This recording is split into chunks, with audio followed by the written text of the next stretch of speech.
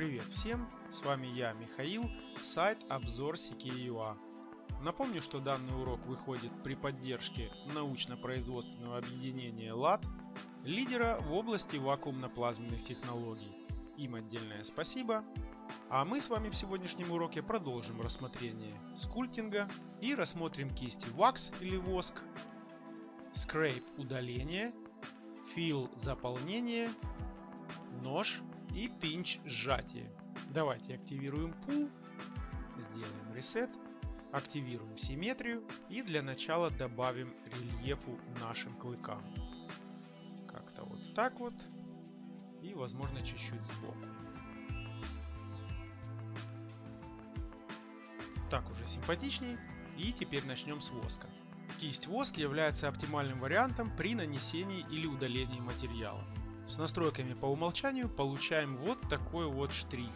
И результат совершенно различен, если мы нанесем штрих с помощью пул. Вернем назад. Безусловно, уровень детализации зависит от установок.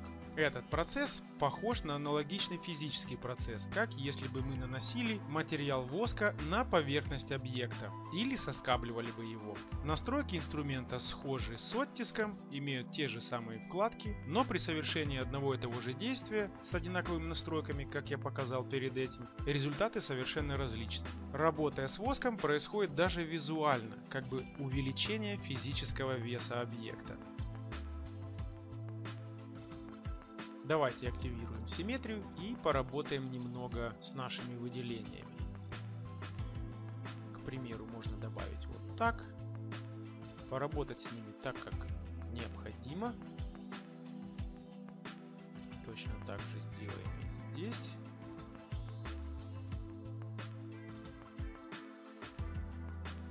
Продолжим то же самое действие вот здесь вот.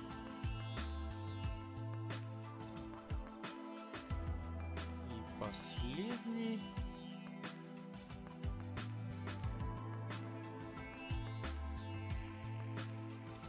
Как-то вот так.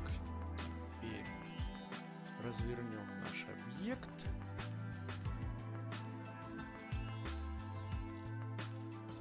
Уменьшим кисть и проведем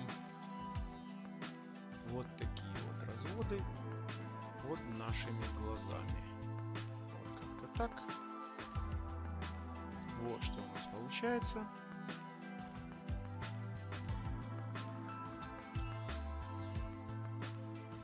Увеличив кисть, можно также добавить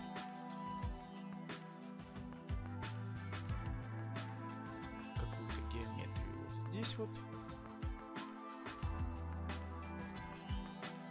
Вот так вот. И мы уже получаем некоторую геометрию. Давайте вот уменьшим еще нашу кисть.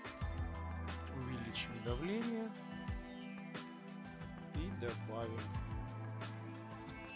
вот так вот, к примеру, и вот так вот. Что у нас получается? Вот такой фрагмент.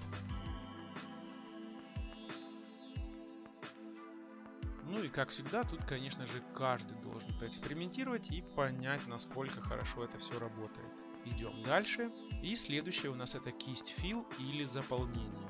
Она производит заполнение ниже расположенных участков. Просчитывается среднее значение высоты для участка, расположенного под курсором. Все точки каркаса, расположенные ниже этого уровня, будут смещены или приподняты. Принципе, наилучшим образом эта кисть функционирует при максимальных значениях.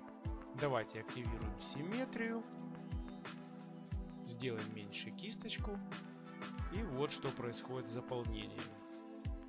Можем посмотреть результат вот так вот. Заполнение произошло симметрично и равномерно. Кисть Scribe или удаление работает точно так же, как и заполнение, точности до наоборот. К примеру, если мы активируем Wax, уберем симметрию, добавим штрих то Scribe произведет удаление вершин. Для этого производится просчет средней высоты поверхности, которая находится под курсором. И все точки, расположенные над этим уровнем, будут смещены в нижнем направлении. Вот так она работает. Довольно специфическое использование. И следующая кисть у нас это нож. Эта кисть имеет стандартные настройки, но дополнительно здесь присутствуют параметры pinch, сжатие и push, давление. Давайте активируем симметрию. И если мы проведем кистью сейчас, то получим довольно жесткую линию, вот как вы видите. Технически действие ножа производит стягивание точек каркаса на основе своего действия и одновременное их смещение в нижнем направлении, ну или в верхнем, если мы удерживаем клавишу Ctrl. Оперируя значением Pinch, можно получать жесткую или мягкую линию. К примеру, давайте сделаем где-то вот так вот. И попробуем сделать выразительные линии вот здесь, возле наших клыков. К примеру, вот видите, очень хорошо она работает здесь.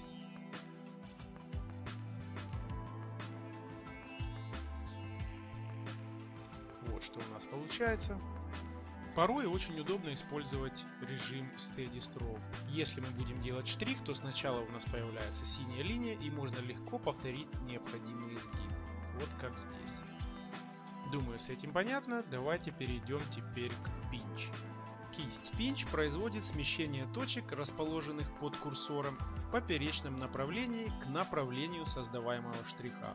Вот в нашем случае мы можем подвести изгибы наших клыков. Давайте увеличим немного давление, активируем симметрию, поскольку у нас все симметрично, и попробуем провести.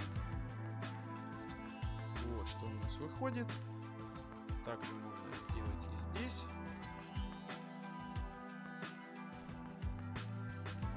Получается довольно симпатично. С ее помощью можно работать с ребрами, с кромками и так далее. С такими моментами моделирования, где необходимо вот такое вот смещение. Думаю, с этим все понятно. Надеюсь, каждый сам дошлифует полученные знания на своих объектах. В следующем уроке мы продолжим рассмотрение скульптинга и рассмотрим другие кисти. А пока напомню, что данный урок выходит при поддержке научно-производственного объединения ЛАД, лидера в области вакуумно-плазменных технологий. Им отдельное спасибо, а всем вам желаю удачи в собственных проектах, следите за нашими обновлениями и оставайтесь с обзор CKUA.